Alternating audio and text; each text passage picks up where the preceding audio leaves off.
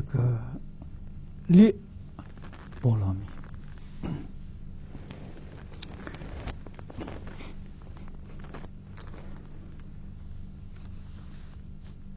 是菩提心里面的身心。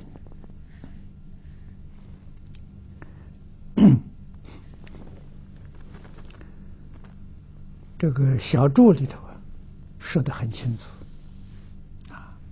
涉世无有杂染，世是世间，菩萨应化在世间，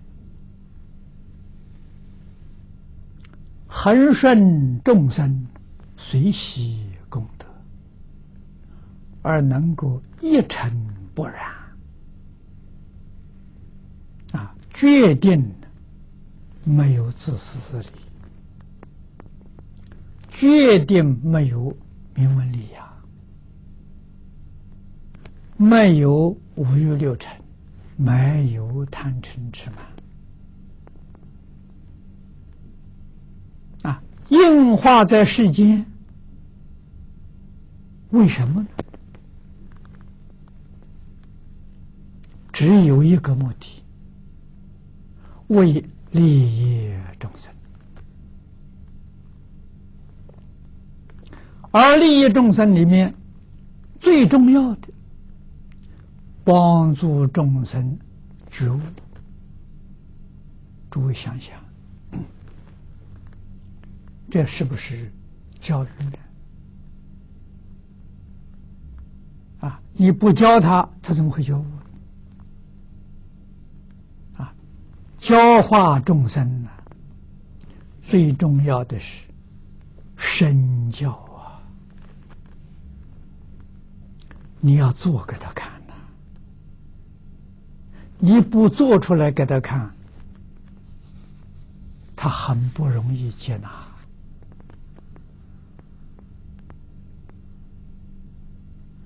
所以世尊当年在在世教学。总是以身作则，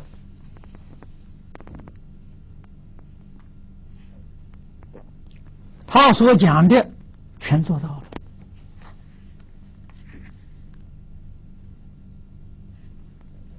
所以才有那么深的感化力。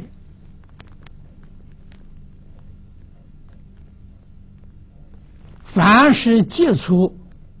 佛陀的人，没有一个不被他摄受啊！这摄受力很大了。那用现在的话说，世尊有很强烈的磁场啊，进入这个磁场的边缘呢，都能感受。他那个强烈的影响力啊，就是受他的感化啊，纵然不说一句话，只要在他那个气氛范围之内，没有不受感动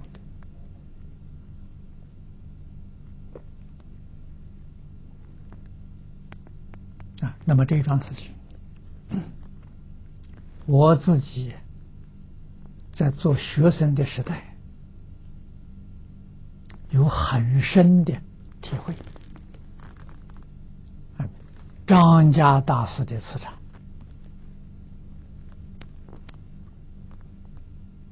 啊，凡是跟大师接触，没有不尊敬的。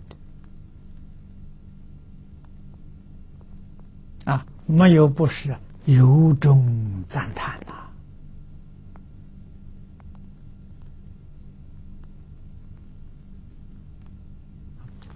给你第一个感触就是慈祥啊，他老人家的慈悲、安详啊，确实跟一般人不一样啊啊！那现在人。那就就更明显了。现在人心浮气躁啊，他在定中啊，行住坐卧都在定中，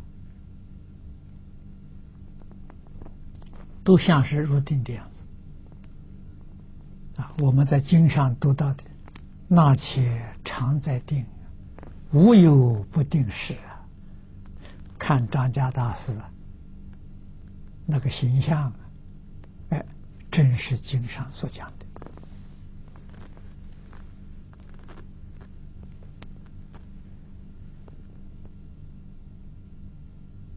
的啊。我们这个地方还有一幅张家大师的照片啊，他老人家早年送给我的啊，送我是小张四寸的照片。我们现在在四地放大了，啊，放这么大的时候显得有一点模糊，啊，还还是能看得清楚，啊，他老人家行住坐卧就是这个样子，啊，并不是在照相的时候要装模作样一下，他确实就是这样，非常自然，啊，一丝毫。做作没有啊，所以他能感人呐。哎，跟他见过，你会念念不忘啊。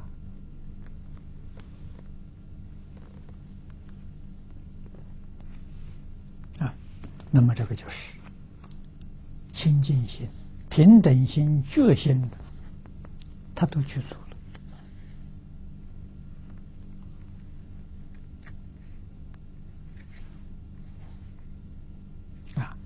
他老人家告诉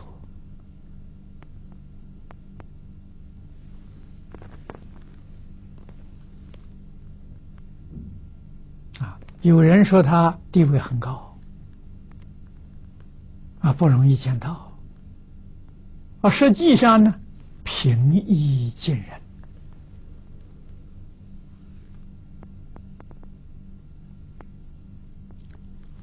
我认识他。”他老人家六十五岁呀，我那一年二十六岁，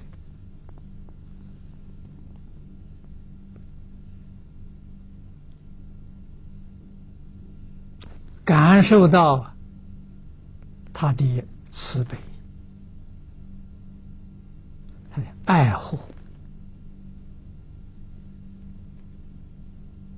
啊！我们那个时候没有地位呀。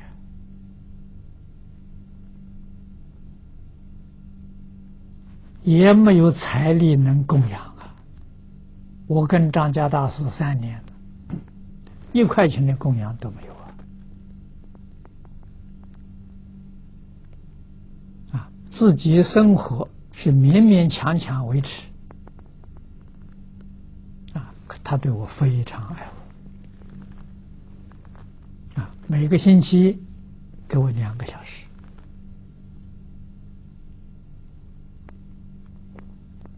有时候呢，有应酬的话，也会给我播一个小时。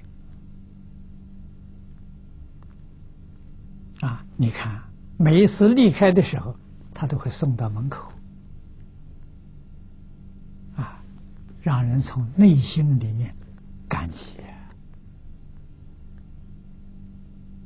啊，没有一点架子。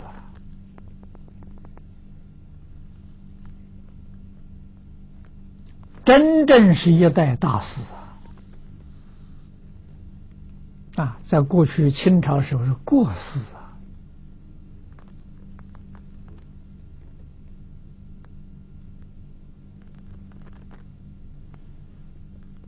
啊，说话不多，但是字字句句都有力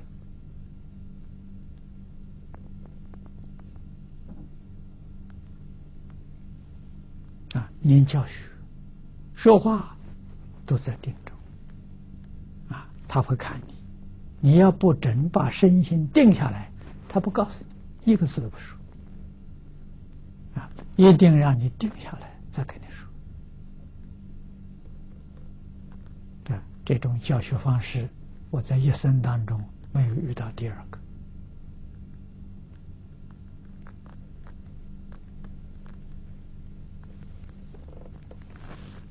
那么我们在社会上生活，接触的面非常广大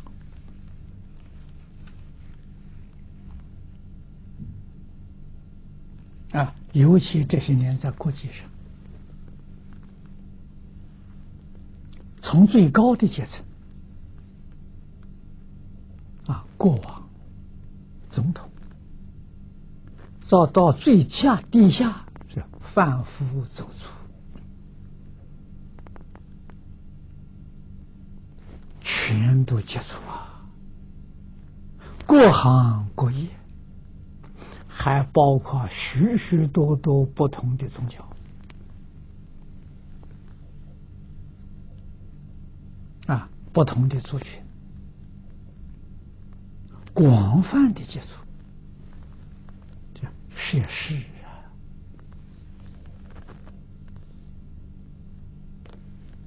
啊，啊，真正做到啊，没有杂染，啊，用什么心态？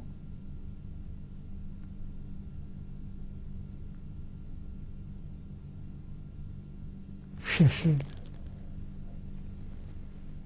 啊，就是用一个菩提心、真诚心、清净心，真诚决定没有虚伪，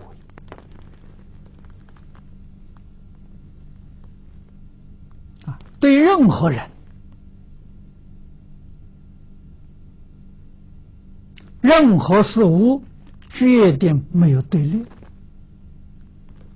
没有对立就相互啊，自然就能沟通啊，很容易沟通啊，没有猜疑啊，对人通通信任，这一点非常重要啊。他对我怀疑，我对他不怀疑，才能帮助他回头啊，帮助他觉悟啊！为什么不怀疑呢？自信里面没有怀疑，怀疑是杂染。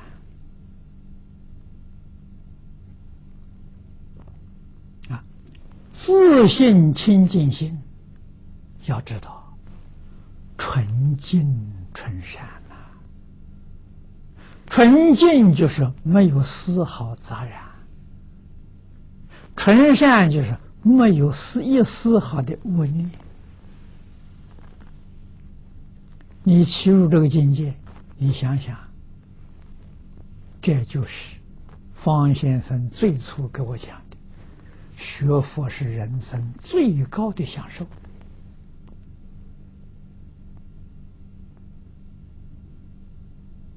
啊！谁能够得到呢？人人都能得到！问题就是你肯不肯干啊？你能不能用真诚待人啊？真就是一丝毫虚伪。没有，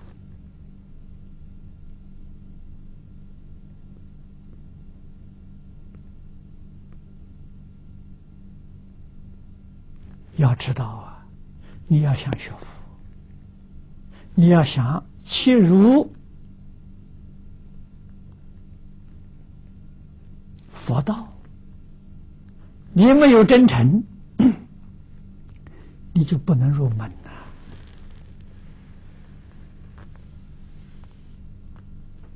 你说这个多重要啊！绝对不可以说别人用虚妄心对我，我也用啊虚情假意对人，那这是反复。你是不是甘心情愿永远做六道凡夫？那那行。那你要想出离六道呢，那就不行了。出离六道啊，是要搞真的。六道里面完全是虚妄的，啊，虚情假意呀，啊，它刹那刹那它成变化了，真的是。永恒不变呐！你说那个多快乐，那个多自在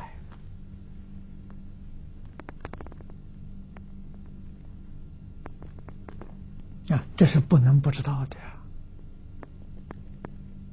你到底愿意用哪一个？啊，清净心多自在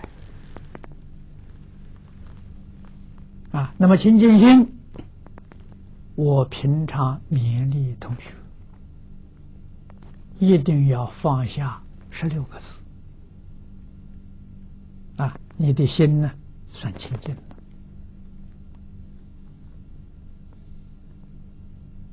第一个要放下自私自利，你只要有自私自利，你心不清净。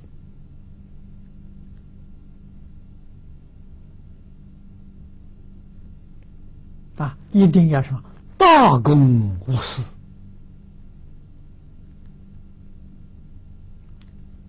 念念为一切众生真正的福祉着想。啊，诸位要晓得，一切众生真正的福祉啊，那就是帮助他明心见性。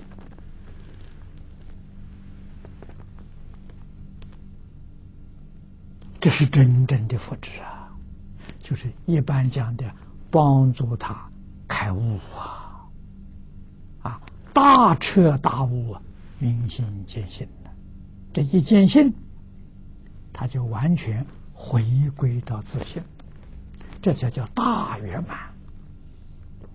自信本有的无量智慧、无量德能、无量相好，他通通现前了。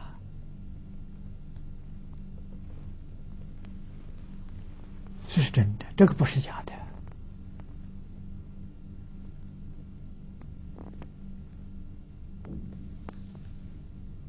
啊！那么这一桩事情是肯定、决定可以实现的。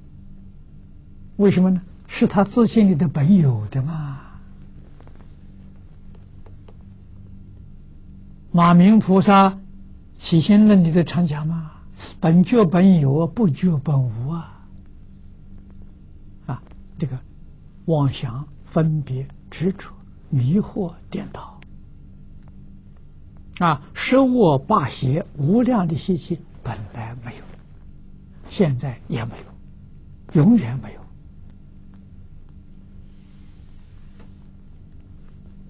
有啊！所以迷，这暂时迷惑。古德用酒醉做比喻，我觉得比喻的很好。他清醒的时候非常之好，喝酒喝多了胡说八道，迷惑颠倒。啊，这个六道众生呢，就像酒醉了发酒疯。啊，你等他酒醒了之后就是好人。啊，那么佛菩萨到这个地方来呢，就看到这一对啊醉醺醺的。迷惑颠倒的，如何帮助他赶快清醒过来？如此而已啊！所以你要知道，一切众生呢，本来是佛；一切众生本性里头绝对没有丝毫染污，绝对没有丝毫不善，这是首先你要肯定的啊。然后你心目当中讲，人人是好人呐，事事是好事啊。他今天做这些不善呢，一时糊涂，迷惑了啊。不是他的本性，不是他的真心，啊，妄心在作祟。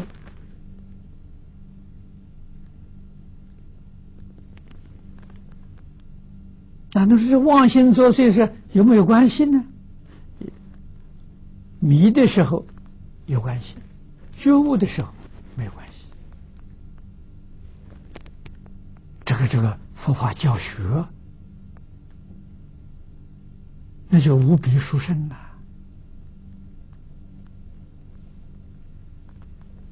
啊！迷的时候你不出六道啊，这个善恶果报你一定要受啊！就是善有善果，恶有恶报，你一定要受啊！觉悟了之后呢，觉悟了六道是假的。苦乐也不是真的，超越了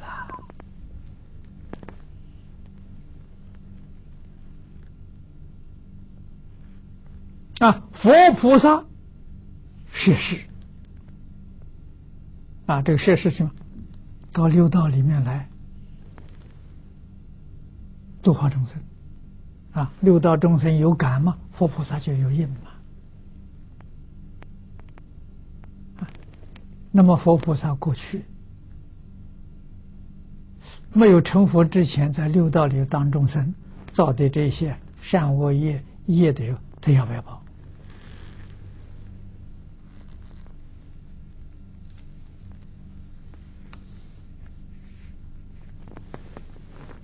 要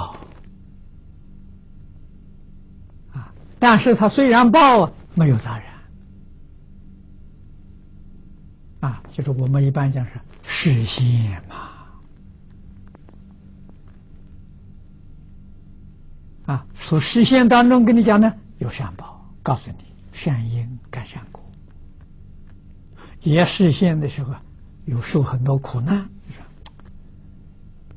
造过去造作一切不善呢，现在受果报，啊，你看释迦牟尼佛有三个月马麦之报。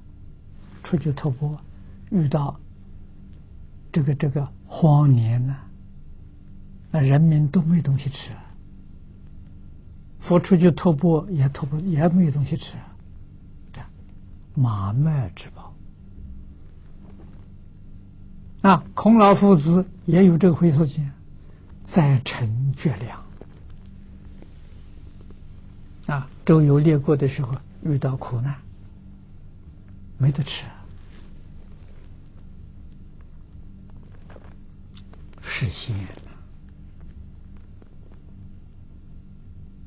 通通都变成度化众生的教材了。妙不妙？啊，全变成教材啊！很多这个例子给你看。让大家觉悟啊！这个觉悟是是最粗浅的觉悟。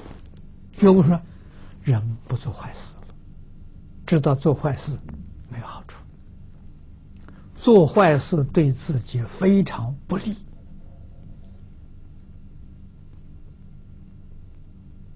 啊！尤其是公众的、团体的。国家的这些财物，决定不能占有啊！你要把它占有了，你将来还不清呐！啊，为什么呢？国家的财物是人民纳税呀，那在中国得了吗？中国有十几亿人，你要是偷盗国家，啊，不要偷多吧？啊，偷一个小小东西，是公家的，是国家的，啊，偷一个小板凳，偷一张椅子，实在讲没几个钱呐，啊，但是他的债主呢，债主是全国人民，你麻烦大了，啊，你欠的债是中国十三亿人。十三亿人是你的债主，你到什么时候能还得清？你要是到一个人的没关系，一个人说你将来还债还一个吧，啊，这个团体就糟糕，团体都不是一个人。佛在这一方面呢。讲的很清楚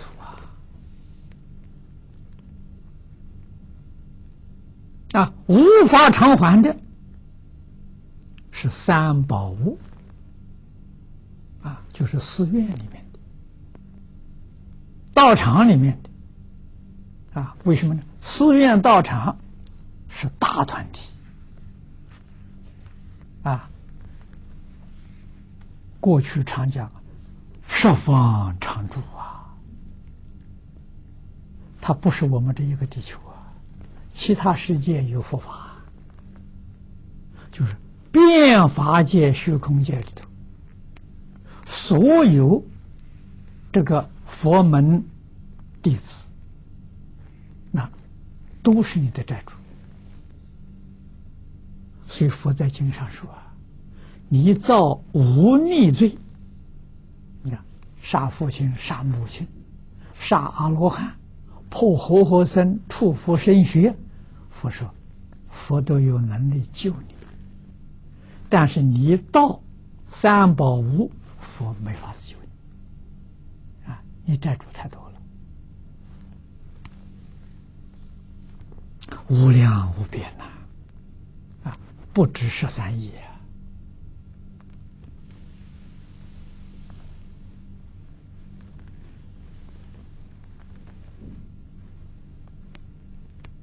破和合僧团呢，罪过都在阿鼻地狱。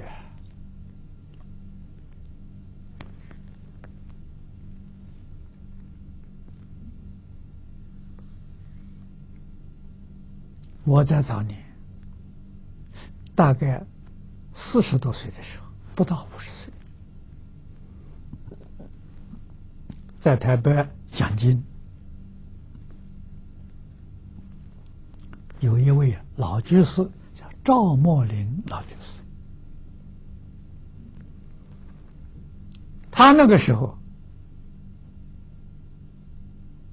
有六十多岁。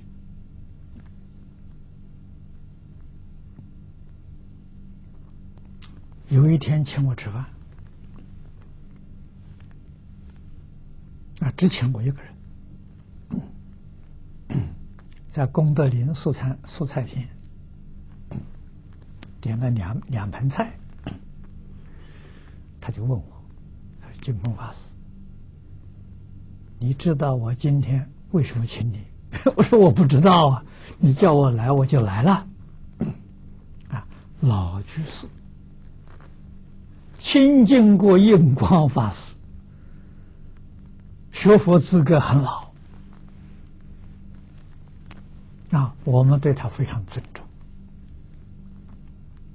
啊，他说我们有别的事情啊，我今天请你要向你请教一桩事情，我说不敢当。老居士说当不起。嗯，这什么事情？他说忤逆罪也堕阿鼻地狱。我说这个我知道啊。他说当然杀父亲、杀母亲、杀阿罗汉、出佛身血，嗯，这很少。啊，现在社会也见不到。啊，这是破活和僧呐！哎呦，这条可太多了。啊，就是破这个活僧团，破坏僧团。啊，他是提出这么一桩事情，我就笑了一下。哎，我们好好吃东西，这个这个事情不要紧。他说怎么不要紧啊？我反过来问他一条一句，我说老老这个老居士啊，你什么时候见过活活僧团呢？他一想一想，也笑起来了。一个寺庙，两个人都吵架了，哪有活活僧团？真啊，这个我说我从学佛出家，当然没有他那么时间那么久，啊，那在十几年的样子，啊，十几二十年，不是我没见过啊。不但没见过，听都没听说过。啊，我们自己这个僧团，能说是活僧团吗？不能呐，里面意见很多啊。啊，真正活活僧团，那是祝福赞叹，天龙永护啊。那个僧团，你要是破坏它。多少倍的啊！可是我就告诉他，我没见过。我说台中，我跟李老师那么久，台中也不是活生团啊。这李老师很清楚啊，他常常感叹跟我讲啊，啊，他说台中情形外人不知道，你很清楚啊。我在维持这么一个局面，我也不在了。就很难讲了，老师不在就四分五裂了。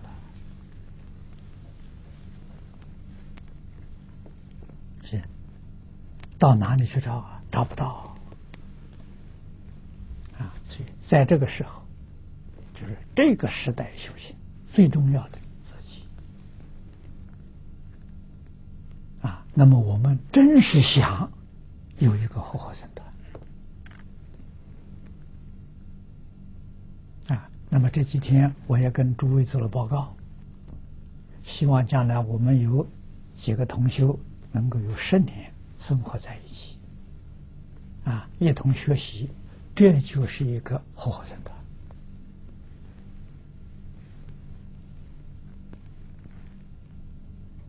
啊，为什么呢？你把《弟子规》做到了，感应篇做到了。十善业做到了，沙弥律仪做到了，他自然就是获生的。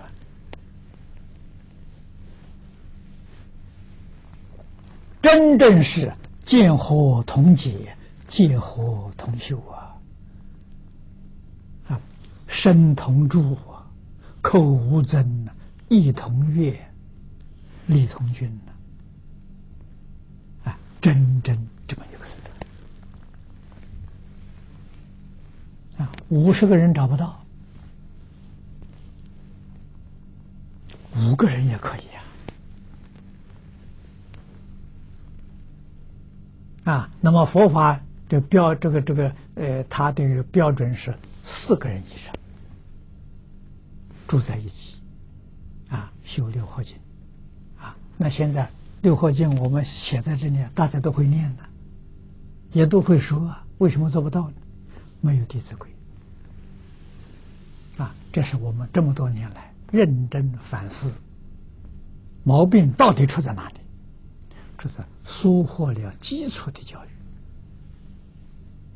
啊！所以我们一定非常重视《弟子规》啊，有《弟子规》，六合经就能做到啊。如果再加上十善业道，再加上感应篇，六合经现成的。哪里还要用到这来提醒呢？啊，本身就活了嘛！啊，我常常讲啊，把自己内心深处对一切人的对立化解，对一切事的对立化解，对一切无的对立化解，就好了。啊，你跟一切人不会有矛盾了，也不会有误会了，也不会有猜疑了，更不可能有冲突。啊，自然就回归到和敬了。和敬是信德了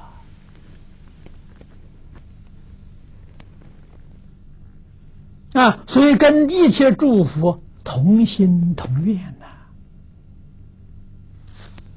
那些护法龙天，他怎么会不尊敬呢？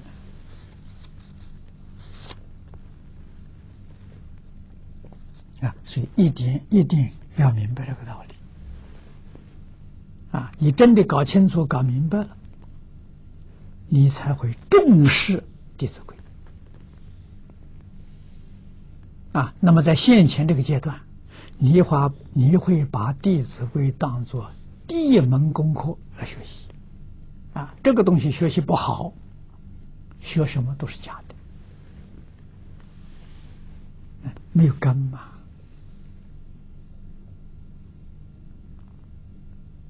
啊，《弟子规》是伦理道德教育。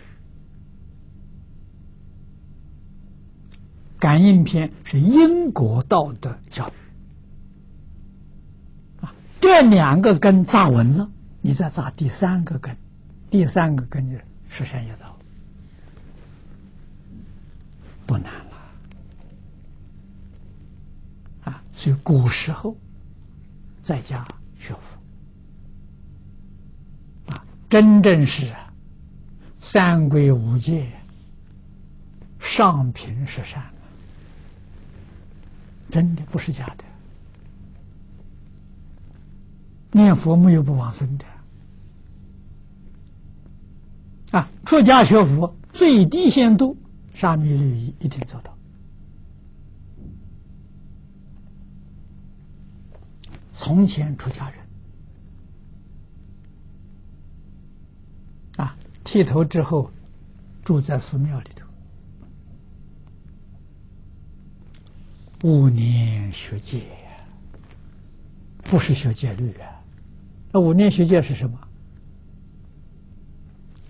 五年落实上面律仪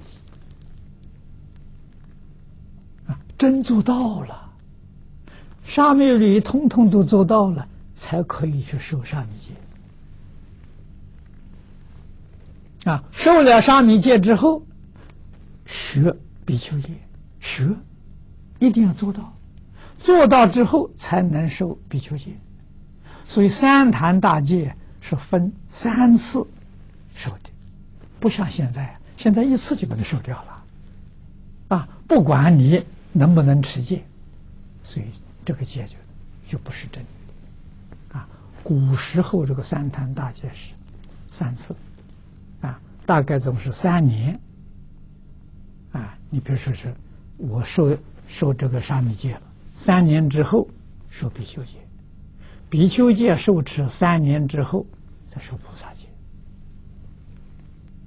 啊，哪有是一次完成的？没这个道理。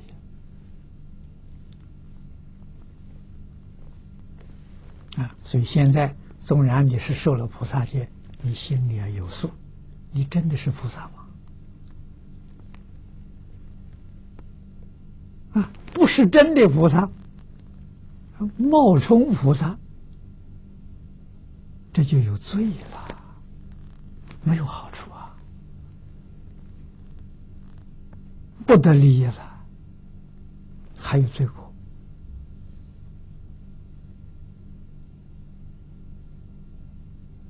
啊！那为什么要这样做呢？虚荣心。傲慢心在作祟呀！啊，那么这个全都是杂染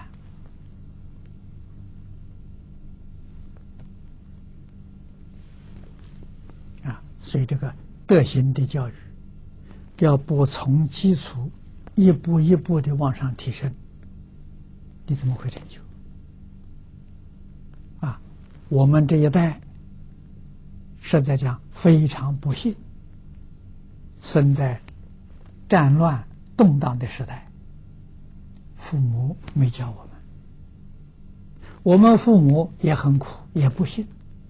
为什么呢？他也没受到。再往前推，啊，我们的曾祖父母也未必受到。大概在什么高祖父母的时候，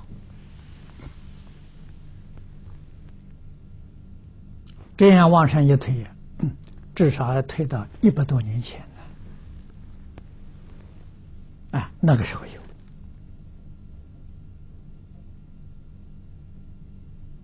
有。啊，清朝亡了之后，进入到民国，民国的社会呀一直动乱不安。啊。那么，经过这个八年的抗战，把整个社会打乱了，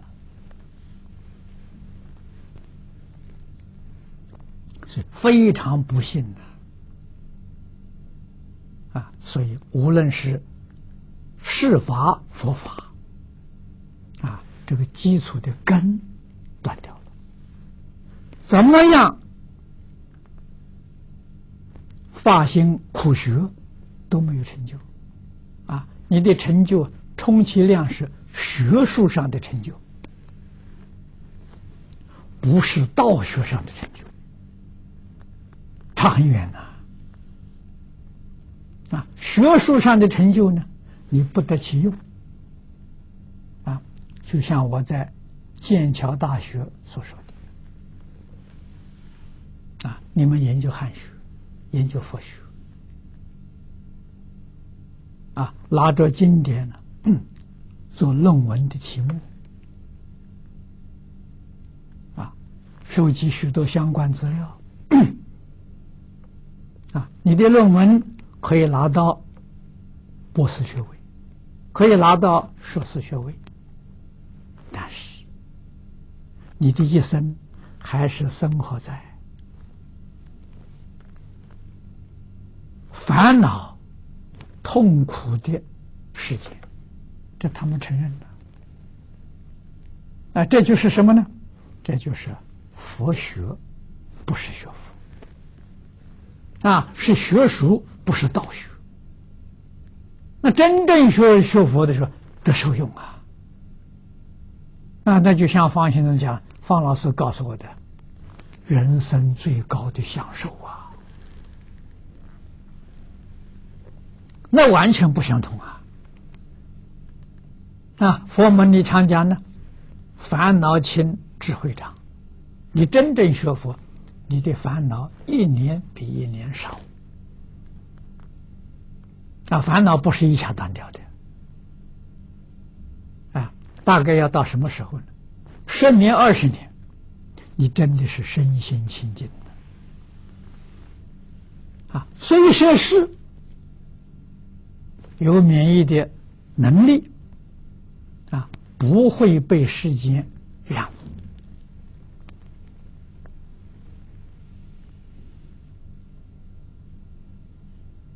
啊，有这个能力啊！啊，我的根性不是上根，中下根性啊！你要问我。我学了多久，才勉强在这个世间红尘里面啊，能够站得住脚？跟诸位说，我是三十年了，不简单呐！啊，靠什么呢？忍辱波罗蜜，不施波罗蜜。啊这是李老师看中我这两点，我能忍，我肯布施。啊，布施是放下了。张家大师教我的，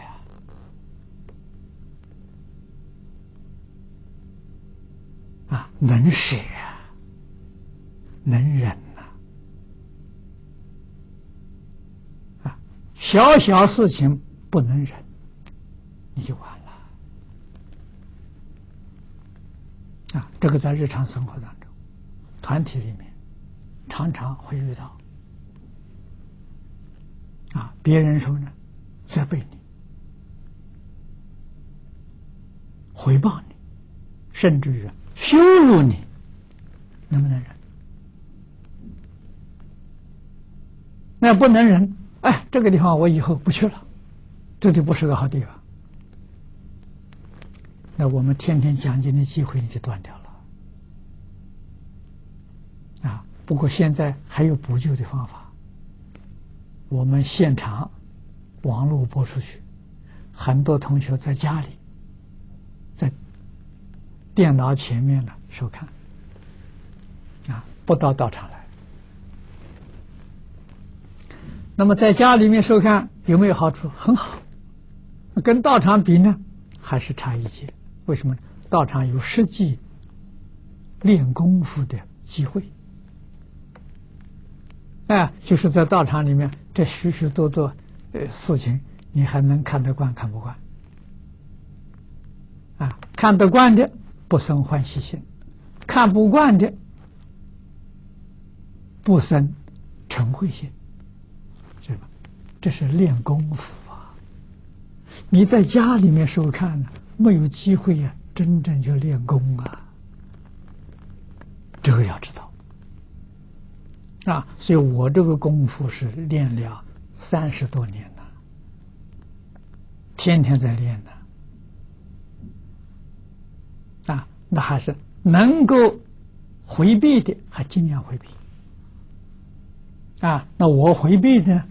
我不看电视，不看报纸，不看杂志，啊，几乎世间这些这个这个书籍啊，我通通不沾。世间书籍，我看的几乎都是古书、古圣先贤的著作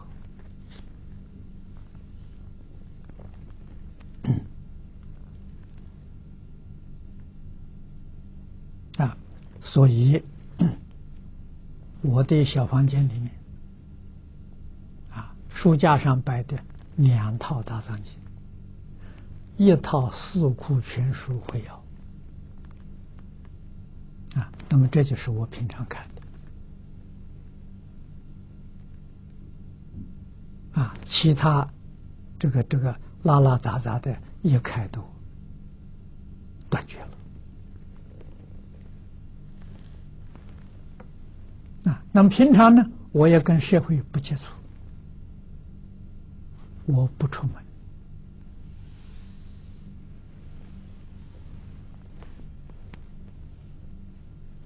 啊，出门浪费时间了，浪费精力了。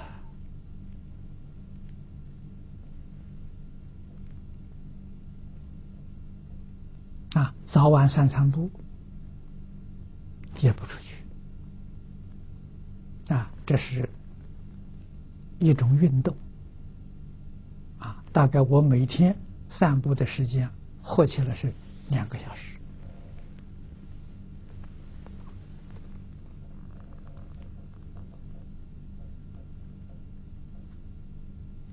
啊，那么我的电话也很少，信件几乎没有。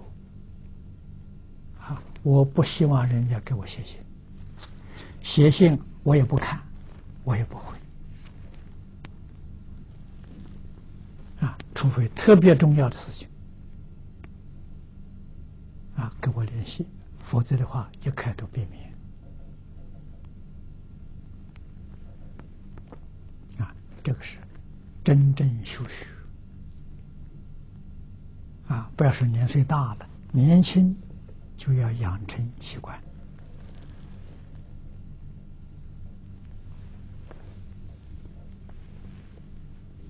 啊，确确实实是帮助你提升智慧。啊，读古书有好处。佛法确实跟世法不一样，你要相信。佛法里面讲的智慧的能相好，都是你自信去做的。只要把障碍排除了，你的心得了，通通都现前了。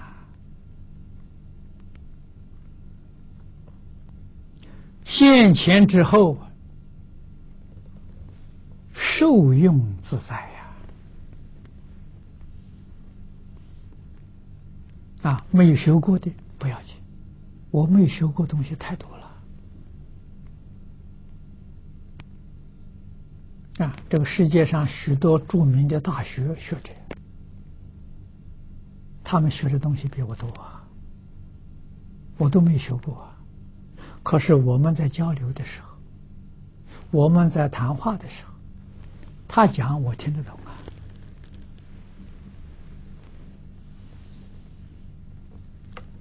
啊，啊，一接触就能懂，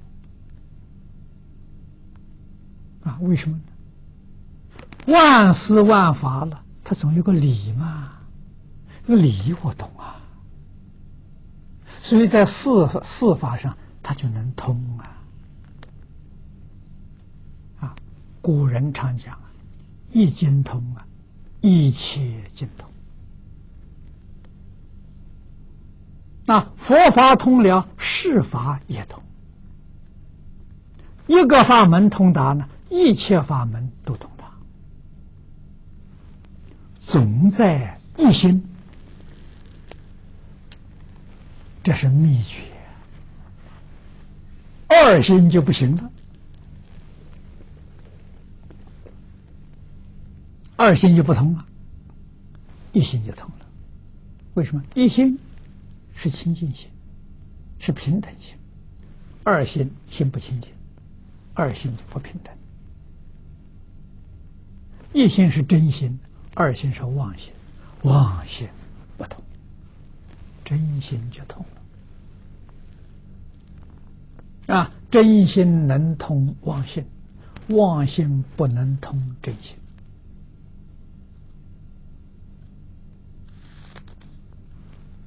这个道理要认识清楚啊！所以经中的修学妙，就妙在此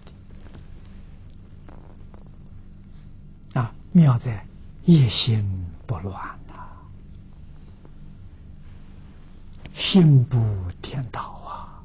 你看《弥陀经》，大家听听听。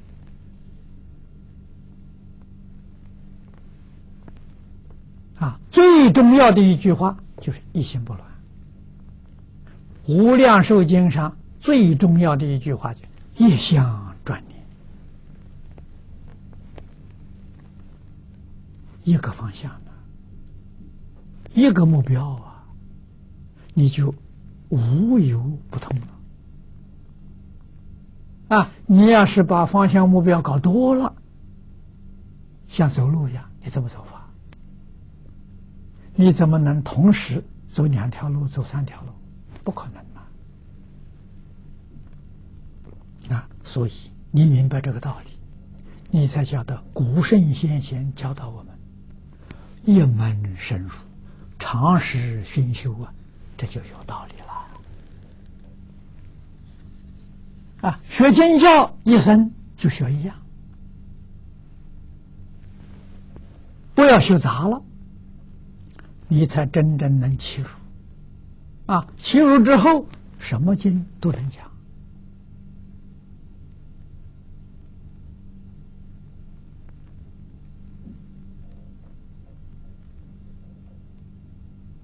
啊，早年我在台中跟李老师十年，啊，十年我学了五部经。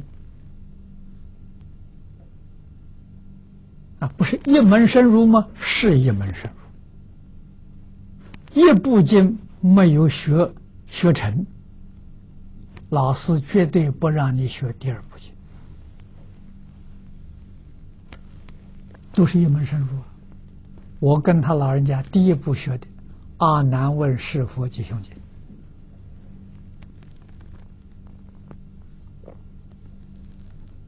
半年。我能讲啊。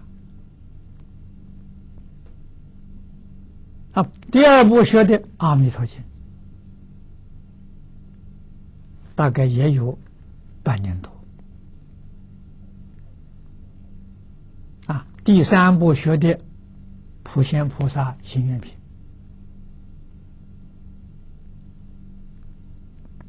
差不多也是半年。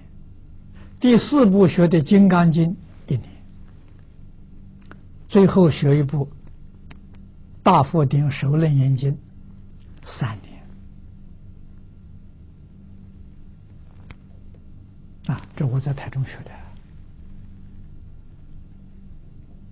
啊。李老师讲华严经，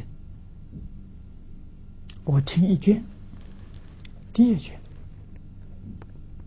后面我都会讲了啊。所以他老人家在台中讲华严，我在台北讲华严。我讲的进度比较快，为什么呢？我讲的时间多，一个星期讲三次，啊，他老人家一个星期讲一次，啊，好像我两三年的时间就不跟他追上了，啊，所以学决定是一门深入，那真正要学的话，老师对我就没那么严格了。要严格怎么样呢？一生就学一部经，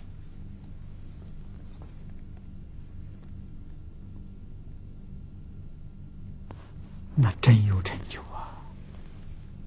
啊，李老师对我不够严格，他对我严格的时候，我还是会听他的，我还是不会走。